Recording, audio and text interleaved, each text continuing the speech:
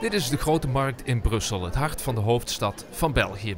Maar aan niets is te merken dat er een grote wedstrijd op het programma staat. Ja, zij zijn er, maar ze zijn er altijd en laten zich fotograferen of eten een wafel. Champions League is hier heel erg ver weg.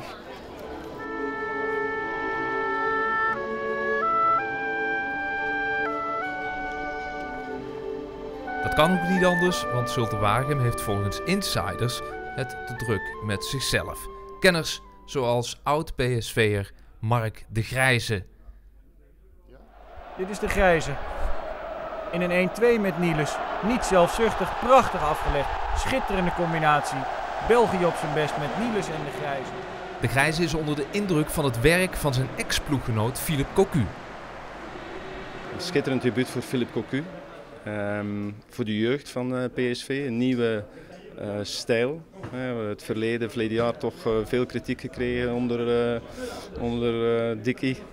En veel vernieuwing, dus dat belooft heel wat. Ja. Is dat een meesterstukje van een trainer om in een relatief zo korte tijd, vijf weken, om met negen nieuwe spelers zo'n ploeg neer te zetten? Nou, ik denk dat PSV het gewoon goed gedaan heeft om, uh, omdat Philippe Cocu die jongens goed kent. Uh, hij heeft ze bezig gezien bij de, bij de jeugd. Uh, en hij weet wat hun kwaliteiten zijn. En ik denk dat dat een grote winst is. En dan is het een stuk makkelijker dan dat je een, ja, een trainer van buitenshuis moet gaan halen en, en die die jongens nog moet leren kennen. Ik denk dat dat een grote winst is. En ja, op korte tijd zo, zo zijn ploeg neerzetten, dat, dat uh, spreekt ook wel in het voordeel van uh, Philippe.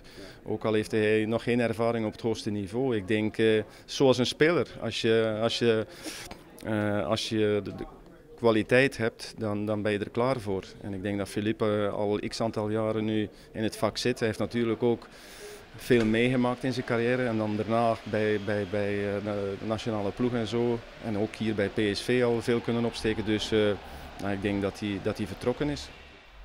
Als volger van het Belgische voetbal weet de Grijze precies waar de problemen voor Zulte Waregem liggen. Nou, ze hebben een heel goed seizoen gespeeld, uh, omdat ja, goed, uh, boven de verwachtingen gepresteerd. En uh, dit jaar wordt sowieso moeilijker, want ze zijn inderdaad verleden jaar een beetje verrassend uit de hoek kunnen komen, maar dat is nu voorbij. En vandaar de verwachtingen zijn hoger en dan wordt het sowieso een stuk moeilijker.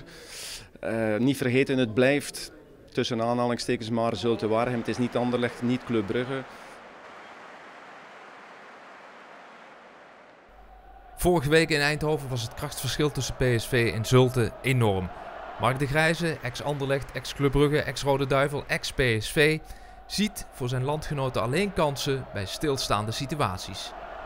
Daar ligt eventueel de verrassing, dat ze daar kunnen mee beginnen en dan een beetje druk kunnen uitoefenen. Maar ik verwacht ook dat PSV op de tegenaanval uh, Zulte Warhem veel pijn zal doen. En uh, dat ze misschien iets efficiënter uh, zullen zijn. Eén keer scoren, dan moet uh, Zulte vier keer. Nou ja, echt niet. Zodat ook in Brussel juichend rood-wit te zien is.